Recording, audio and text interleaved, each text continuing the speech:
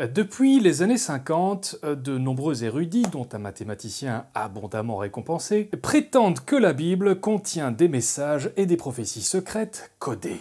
Ces messages, qui feront l'objet d'une authentique publication scientifique dans un journal de qualité, prédisent en détail divers événements historiques ainsi que le nom, la date de naissance, la date de décès, et souvent même les circonstances du décès de nombreuses figures de l'histoire comme Kennedy, Yitzhak Rabin avec une précision stupéfiante. Et pour vous démontrer à quel point ce code est fascinant, je vais vous soumettre une petite expérience, toute simple, à l'aide d'une simulation informatique qui risque bien de vous apprendre des trucs sur vous-même.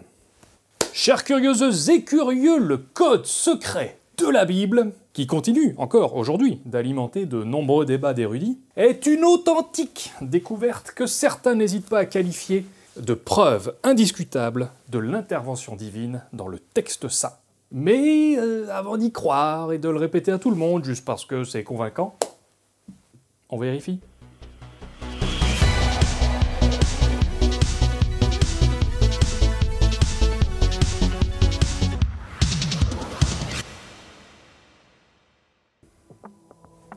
La Sainte Bible avec ses 6 milliards d'exemplaires imprimés, traduits en plus de 2600 langues, 100 millions de bouquins vendus par an, et de loin le plus grand best-seller mondial. Elle est, euh, le sachiez-tu, en réalité une compilation qui, selon les versions, contient entre 66 et 81 livres. Et c'est cet assemblage qui est lu depuis euh, plus de 1600 ans par à peu près toutes les couches sociales même si à l'époque l'alphabétisation n'était pas si répandue, blablabla.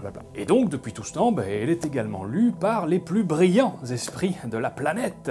Et ces derniers n'ont bien entendu pas manqué d'y chercher quelques messages cryptés. Alors le cryptage ça peut être compliqué, mais ici en l'occurrence la méthode est simple. On prend un mot ou un texte et plutôt que de lire les lettres euh, de façon normale, on effectue des sauts de lettres équidistants. Équidistant Quoi? Ça veut pas dire ça? Eh, non, les, les mèmes de Camelot, moi je. J'adore Camelot, hein, c'est pas ça, mais. Euh, donc, pour vous donner un petit exemple, si on prend le mot anglais generalization, généralisation, generalization, et que je n'y lis qu'une lettre sur trois, on y retrouve le mot astronomique.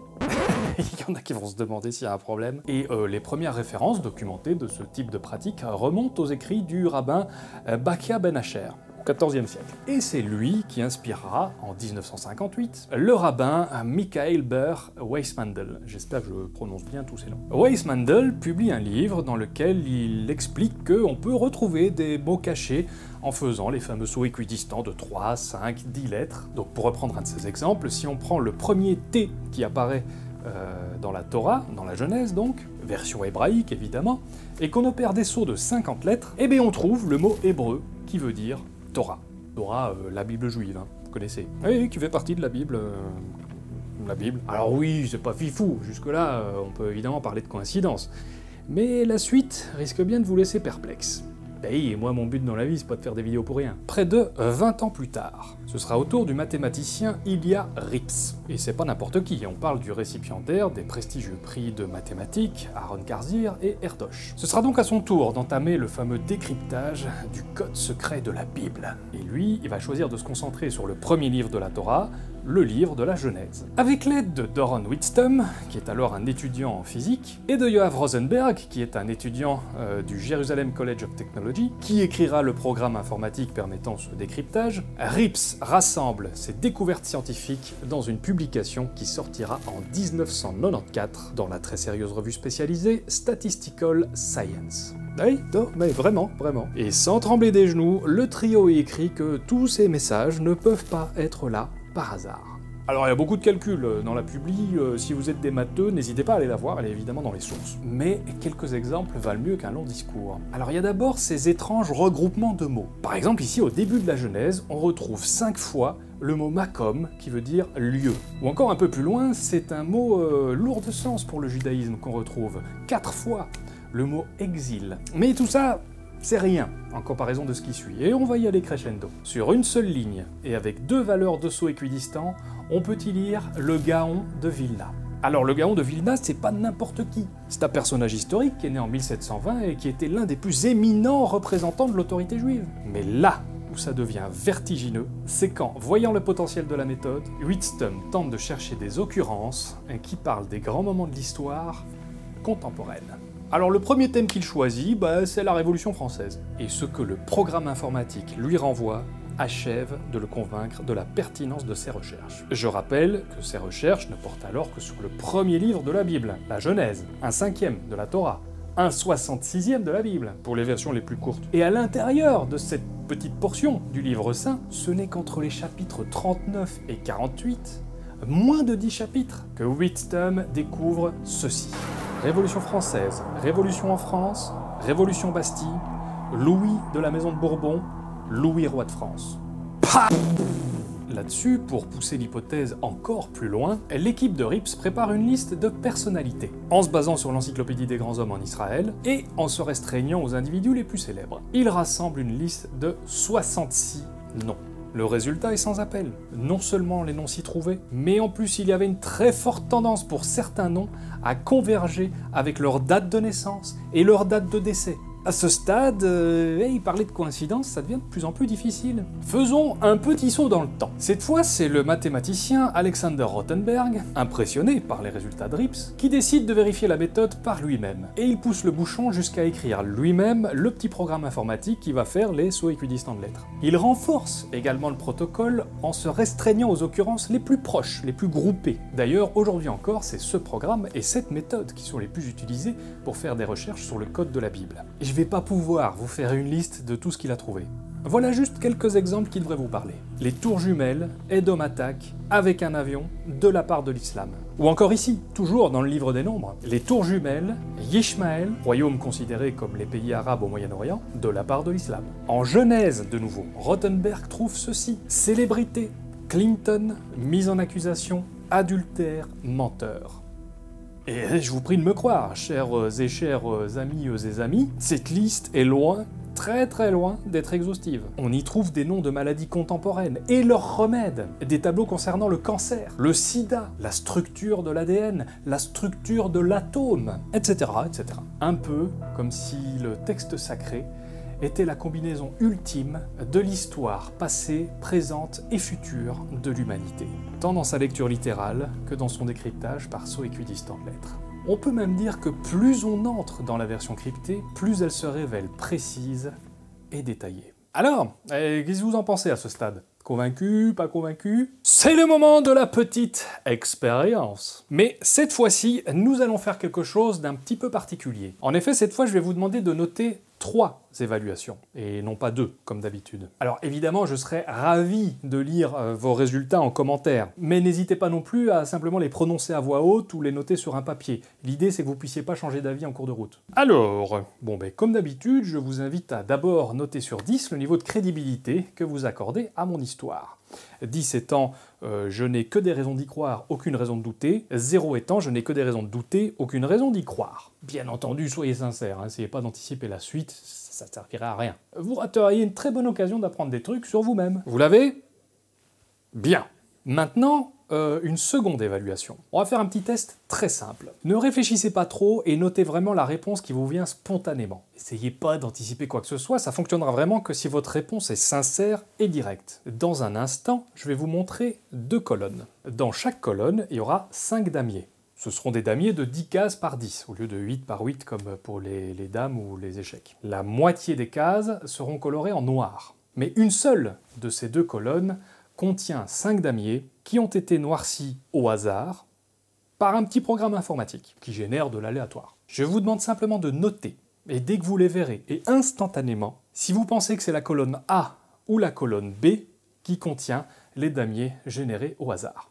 Vous êtes prêts? Si vous n'avez pas compris, c'est encore le moment de faire marche arrière dans la vidéo. Ok, on y va. Alors, 3, 2, 1... Vous l'avez? Ok, gardez bien ça de côté, on en reparle dans une minute. Alors, euh, maintenant que vous connaissez votre euh, score sur 10 et que vous avez choisi euh, quelle colonne contient les cases mélangées au hasard, cette histoire de code secret, on vérifie? Car tout ça, mes amis, c'était bien sûr la version convaincante de l'histoire. Et vous le savez, ce n'est pas parce qu'une histoire est convaincante qu'elle est vérifiée. Il est temps d'y appliquer un peu de méthode Z. Les connaisseurs sont sans doute en train de se demander à quel moment je vais parler de Michael Drosnin, qui est l'auteur d'une trilogie de livres nommée Le Code de la Bible, que j'avais dévoré d'ailleurs à l'époque où il suffisait qu'un truc me paraisse convaincant pour que j'y croie. En 1994, Drosnin, qui était sceptique, mais manifestement sans méthode Z, vous verrez, s'est convaincu de la réalité du Code de la Bible lorsqu'il y découvre un message décrivant le futur assassinat du premier ministre israélien d'alors, Yitzhak Rabin. Et il avertit même ce dernier, ce qui veut dire qu'il y croyait déjà beaucoup en fait. Et bien évidemment, lorsque Yitzhak Rabin est effectivement assassiné en 1995, Drosnin devient persuadé de la capacité du code à prédire l'avenir. Et bah forcément, comme sa méthode de vérification n'était concentrée que sur ce qui pouvait confirmer son hypothèse, c'est un peu ce qu'ils ont tous fait d'ailleurs, hein. bah, il pouvait que soit se convaincre de sa réalité, ou rester dans le doute. Et pourtant, Drosnin, il n'était pas très loin d'avoir la bonne méthode, celle de vérifier en tentant d'infirmer son hypothèse. Alors c'est pas toujours possible, attention, il faut pas jurer que par ça. Vous savez que la méthode Z est avant tout une question de contexte. Et il se trouve que dans celui-ci, c'était possible. Et la preuve que Drosnin était capable de produire une méthode efficace, c'est qu'il a lui-même déclaré face à la critique Quand mes détracteurs trouveront un message codé sur l'assassinat d'un premier ministre dans Moby Dick, je les croirai. Et ben en voilà une bonne méthode Ça s'appelle la réfutabilité, source en description pour ceux que ça intéresse. Et en général, quand il y a ce genre de provocation, bah il y a toujours un petit taquin qui débarque. Et c'est donc là que le mathématicien et professeur émérite Brendan McKay saute sur l'occasion. Alors lui, il la joue propre, hein. il prend Drosnin au pied de la lettre. Et il se lance dans une analyse du roman Moby Dick avec la même méthode. Et bim, il trouve lui aussi l'assassinat de Yitzhak Rabin. Mais en plus, ça fait qu'une foule de détails supplémentaires. Accrochez-vous bien. Je rappelle que le premier ministre israélien Yitzhak Rabin a été assassiné par Igal Amir, qui a tiré trois coups de feu, dont un qui frappe mortellement Rabin à la poitrine. Amir était étudiant à l'université de Bar Ilan et associé au groupe clandestin Eyal, qui s'est lui-même inspiré d'un groupe terroriste appelé Lehi. Amir a commis son geste à cause de l'implication de Rabin dans le processus de paix et surtout à cause des accords d'Oslo. Eh bien, McKay trouve dans Moby Dick les mots suivants. Amir, Igal, 3, coup de feu, poitrine, Bar Ilan, mort, paix, Oslo, Lehi, Eyal. Et alors le McKay, hein, euh, un petit peu taquin, il s'est pas arrêté en si bon chemin. Il nous a sorti l'assassinat de Lady Di, Kennedy, Lincoln, Luther King, Trotsky, Gandhi, Clément... F... Non, je vais arrêter avec lui. Il découvre que Moby Dick contient lui aussi des dizaines de prédictions cachées. Non mais sans déconner, allez voir dans les sources, c'est stupéfiant. Et là on reconnaît vraiment la taquinerie, hein. cherry picking sur le gâteau, il prédit également l'assassinat de Drosnin lui-même, qui devrait donc mourir, euh, selon le code secret de Moby Dick, assassiné par un clou dans le cœur qui laissera un trou considérable pour une sombre histoire de mensonges et de chasse au trésor. Mais la taquinerie ne s'arrête pas là. David Thomas, président du New Mexican for Science and Reason, effectue plusieurs autres analyses dont la plus spectaculaire sera à mon sens celle qu'il a réalisée non pas dans la Bible, non pas dans Moby Dick, mais dans le livre Le Code de la Bible 2 que Drosnin lui-même a écrit. Il y trouve le message suivant. Attention, c'est pas très la bienveillance. Le code de la Bible est un attrape-nico pitoyable, imbécile, malhonnête et malodorant, digne du pire des arracheurs de dents. Alors, vous l'aurez compris, ce que tout ça, ça nous apprend, c'est qu'un grand nombre de combinaisons de lettres, typiquement un livre, met nécessairement en évidence des mots connus et même des rapprochements de mots où, sans se forcer beaucoup, on peut extraire à peu près n'importe quelle phrase. Avec cette méthode des sauts de lettres équidistants. En fait, j'ai même envie de vous dire que, bah, d'une façon très générale, euh, la combinaison d'un grand nombre de n'importe quoi va faire émerger des choses qui semblent avoir du sens et qui pourtant n'en ont pas. Et ce que je vous propose de retenir de tout ça, c'est que bah, on est tous, vous, moi, plutôt mauvais pour faire la différence entre le véritable hasard, qui n'a aucun sens, et les associations qui ont du sens. Et c'est pour ça que la plupart d'entre vous aura choisi la colonne B en tant que réelle représentation du hasard. Alors que le vrai hasard, bah, c'est la colonne A. Ah si, si, si, ces petits carrés ont été créés à partir d'un logiciel que vous retrouverez en description. Un immense merci encore à mon bon vieux pote Zark d'avoir euh, codé cette petite chose. N'hésitez pas d'ailleurs à lui faire un petit merci en commentaire, hein, ça lui fera plaisir. Il faut pas trop lui dire, mais j'en profite pour remercier euh, Wendy Melody qui m'a beaucoup aidé à écrire ce script. Mais si, allez-y, mettez des merci partout là dans les commentaires, allez. Et donc, euh, bah, contrairement à l'impression qu'on a toutes et tous, le hasard, c'est pas un truc qui est tout le temps n'importe quoi, qui n'a jamais de sens. C'est au contraire quelque chose qui va régulièrement faire émerger des associations qui ont du sens à nos yeux, mais qui en réalité n'en ont pas. Voilà pourquoi, euh, quand on voit les paquets de carrés qui sont rassemblés comme ça, on se dit que c'est pas dû au hasard. On va préférer quelque chose de plus éparpillé, de plus euh, homogènement disparate. Et là où ça va vous faire marrer, c'est que cette fameuse colonne B, et je l'ai faite faire par des humains, à qui j'ai expressément demandé de me créer une grille que quand ils la regardent, ils se disent bah ça, ça c'est le hasard. Pire, vous n'avez même pas remarqué que ces deux carrés se trouvent en double. Ils ont été juste pivotés à 180 degrés.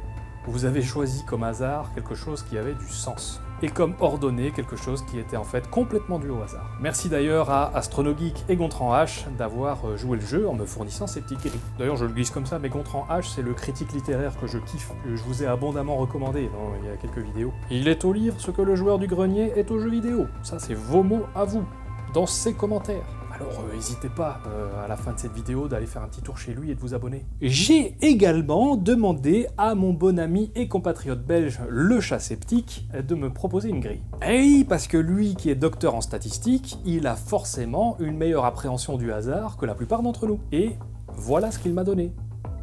Vous voyez, notre cerveau tente en permanence de mettre en relation, de connecter tout ce qui est approximativement lié de près ou de loin qu'il voit passer sous ses yeux. Je sais que nombre d'entre vous auront par exemple tenté d'associer inconsciemment ou consciemment les 66 livres de la Bible avec les 66 noms de la liste de Rips. Alors pourtant il n'y a aucun rapport. Si je me balade en rue et qu'à hauteur de la maison numéro 144 je regarde ma montre et il est 14h40, je vais irrésistiblement chercher un lien. Je ne vais pas pouvoir m'en empêcher. Et c'est là que l'esprit critique entre en jeu, c'est là qu'il arrive en, en seconde position et nous permet de comprendre que c'est pas parce qu'une chose fait sens et convaincante qu'elle est vérifiée. Alors c'est important aussi qu'on se comprenne bien, tout ça ne signifie pas qu'il n'existe aucun code caché dans la Bible. Et encore moins qu'elle ne serait pas inspirée par Dieu. Et ça n'enlève rien du tout non plus à tout ce que vous pouvez y trouver de spirituel. Mais ça permet de ramener un petit peu de méfiance et de doute dans la façon dont nous tentons de nous en assurer. Alors à présent, sur une échelle de 0 à 10, où placez-vous votre curseur de crédulité finale? N'hésitez pas à partager les trois résultats de votre expérience en commentaire. Voilà, avant de vous quitter, avant de vous donner mon propre résultat, n'oubliez pas que les abonnements, la petite cloche, le pouce, tout ça, euh, c'est pas parce qu'on le répète tout le temps que ça doit vous passer au-dessus de la tête, c'est vraiment important. Et surtout, un immense merci à tous ceux qui me soutiennent sur les plateformes de dons récurrents que sont euh, Tipeee, Utip, euh, Patreon, Paypal, tout ça. Sans vous, il n'y a pas de chaîne, sans vous, je suis pas là.